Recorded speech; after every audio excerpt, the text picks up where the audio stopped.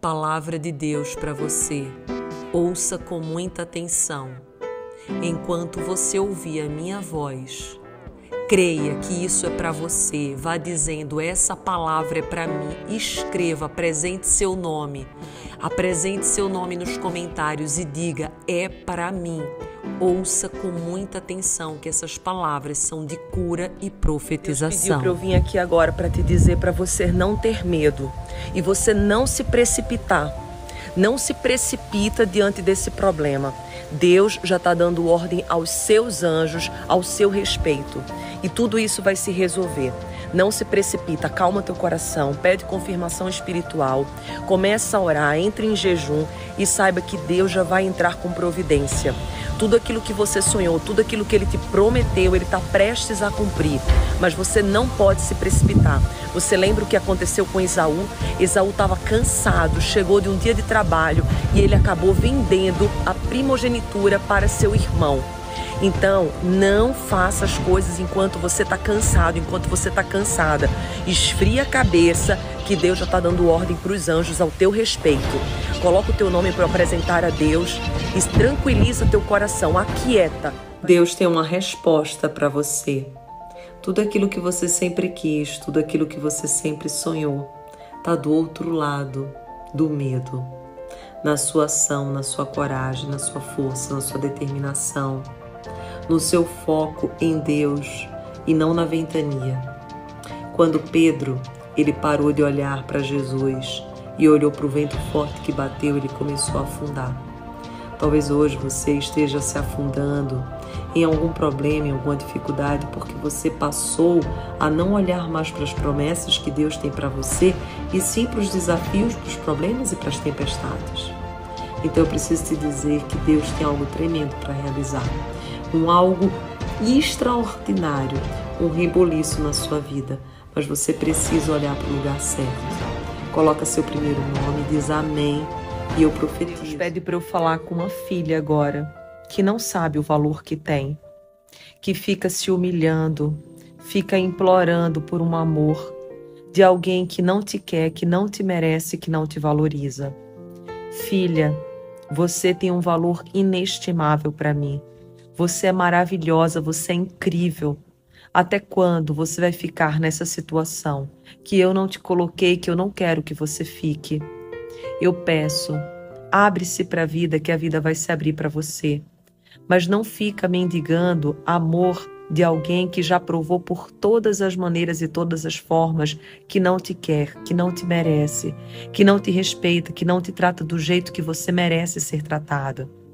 A primeira coisa que eu preciso falar para você é que você vai ter que encontrar o seu limite, porque só encontrando o seu limite você vai poder colocar limite no outro. Se você não souber qual é seu limite, você vai permitir que o outro faça o que quiser com você. Não deixe ninguém, nada, dizer que você não pode, você não consegue. Você está com você desde o seu primeiro suspiro até o último. Quem sabe do teu tamanho, quem sabe do teu valor, quem sabe das tuas lutas, tudo é você. Você conhece tudo, absolutamente tudo que você passou até hoje. Ninguém mais conhece tão bem quanto você. Só você sabe o saldo de tudo isso e o valor que você tem. Então toma posse do teu valor agora. Apresenta teu nome aqui para Deus. Coloca teu primeiro nome e diz assim: a partir de hoje eu vou me reconhecer como Deus me reconhece. Eu vou me amar como Deus me ama. E eu tenho certeza que as tuas escolhas, elas vão ser frutíferas. As tuas escolhas vão ser promissoras. Levanta sua mão e dá um glória a Deus. Escute agora da parte de Deus esse direcionamento que eu preciso te dar. É um segredo espiritual. Davi não teria chegado no trono não teria se tornado quem se tornou se não fosse Golias. Golias foi colocado no caminho de Davi não para destruir Davi, mas para levar Davi para o trono.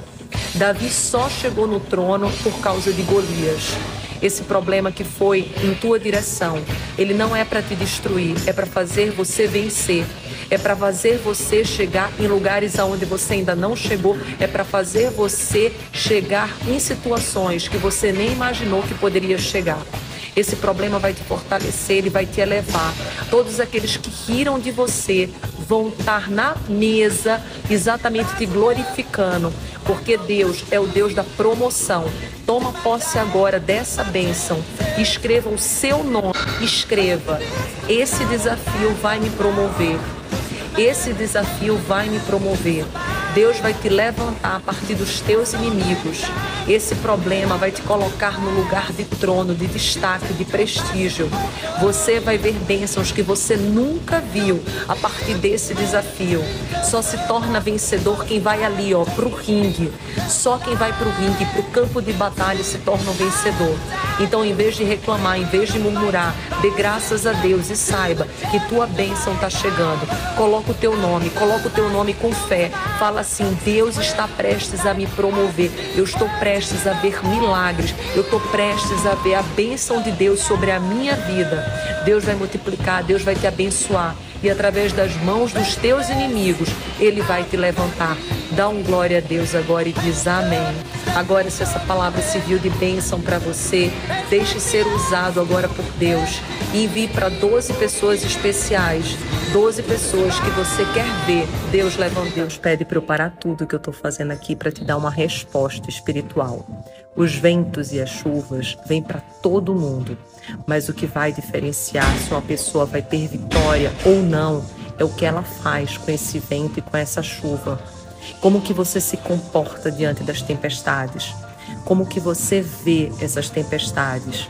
Você precisa ter raízes fortes, você precisa ter raízes profundas. E a raiz profunda é quando você coloca exatamente a tua fé em Deus. Não coloca foco no problema, coloca foco em Deus. Não coloca foco no desafio, coloca na promessa que Deus te entregou.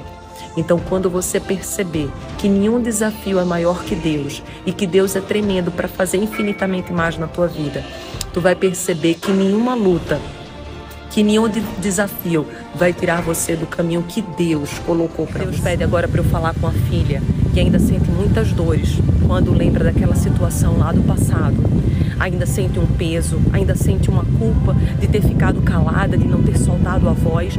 Mas deixa eu te falar uma coisa, filha, aquilo que passou, passou. Vive agora do presente. Eu sei que não foi justo o que te aconteceu, mas não é justo também você levar essa tristeza para os teus dias. Os teus dias viram meses, os teus meses viram anos, os teus anos viram a vida inteira. Então Deus manda te dizer, filha, parou, acabou. Desista de ficar olhando para esse passado. Olha para o teu presente, olha para o teu futuro futuro, tem expectativa de que coisas boas vão acontecer na tua vida, porque vão acontecer. Eu já dei ordens para os anjos irem em tua direção agora. Coloca teu nome, creia, filha. O teu tempo de mudança chegou, o teu tempo de prosperidade, o teu tempo de abundância. Tudo aquilo que você perdeu, eu vou restituir em dobro. Digite amém, coloque seu primeiro nome. Eu vou orar por você. Manda dar uma resposta para você hoje. Não despreza o pequeno começo. Isso que Deus te deu, que você ainda sente que é pouco, honra, porque a palavra do Senhor na Bíblia diz que Ele só vai te colocar sobre o muito se você honrar o pouco que você tem. Então honra isso que foi te entregue. Não fica desanimado, desanimada, porque o muito que você sonha, você ainda não foi colocado sobre ele. Para você chegar lá, você precisa dar passos. Quanto maior é a raiz, quanto mais profunda ela é no solo, é porque maior é essa árvore. Nenhum prédio grandioso se faz sem uma grande fundação. Então, não despreza os teus grandes começos. Coloca teu nome aqui agora, diz amém. Compartilha com alguém que você. Eu vou fazer uma profecia agora pela tua vida. Mas antes eu preciso te declarar algo muito forte da parte de Deus. Esse sonho que você tem, essa promessa que ele colocou no teu coração, ela já está concebida e já está prestes a acontecer na tua vida. Só que todas as vezes que uma promessa está muito perto, o inimigo se levanta de uma forma tremenda contra você. E uma das formas que o inimigo tem para te distrair é te desanimar, é colocar pessoas erradas na tua vida, é dizer que você não consegue, que você está velho demais, que você não tem dinheiro, que já é tarde, que não tem mais jeito. Isso é a voz do inimigo. A voz de Deus não é assim. A voz de Deus é ousa, filha. Vai, faz. A voz de Deus sempre vai te impulsionar a fazer algo que a princípio você acha que nem tem condições. A voz de Deus é a voz que te coloca para o desafio. É a voz que te leva para enfrentar um Golias. É a voz que te leva a calar todos os leões e não te morder dá um glória a Deus, dá amém, coloca o teu nome aqui e creia que aquilo que Deus liberou para você está para acontecer. Só que existe um levante e você precisa se levantar mais alto que o inimigo. Deus pediu para eu falar agora com quem está lutando contra a depressão, a ansiedade, o medo. Deus diz que esse não é o teu destino, esse não é o teu lugar. Você não tem espírito de covardia, não tem espírito de depressão. O teu corpo pode se deprimir, o teu corpo pode ficar ansioso, mas o teu espírito é de coragem o teu espírito é de alegria. E Deus fala para você agora, filha, filho, eu vou curar essa doença, mas eu preciso de você. Eu vou te dar quatro direcionamentos. Primeiro, você precisa começar a se alimentar bem. Eu não sei se você sabe, mas a serotonina, que é excretada pelo seu segundo cérebro, que é o intestino, você tem o teu bem-estar, 90% da tua felicidade vem exatamente desse segundo cérebro. Então eu preciso que você se alimente bem, pare com refrigerante, pare com batata frita, pare com tudo isso, você escuta o que eu estou te falando. Você também precisa dormir bem. Você tem que parar de ficar a noite inteira acordado. O terceiro ponto que Deus manda eu te falar agora é que você precisa fazer uma atividade física. Você precisa se movimentar. O teu corpo precisa de movimentação. Você vai liberar endorfina, você vai liberar serotonina, dopamina e você vai sair dessa depressão. E o quarto posicionamento é que você precisa alimentar pensamentos positivos. Você precisa ter atitudes positivas. Você precisa acreditar que esse não é o teu lugar. E por fim, ele dá agora um quinto que não ia sair, um segredo espiritual para você. Você precisa decidir, porque tem remédio no mundo que salve a tua falta de decisão. Enquanto você não decidir, você não vai conseguir sair desse estado de depressão, desse estado de ansiedade. Decida hoje. Ainda pode ser que você tenha pequenos passos, você não tenha perna para dar o passo final, mas você comece toda grande obra começa pequena. Então não menospreze os pequenos começos. Coloque seu nome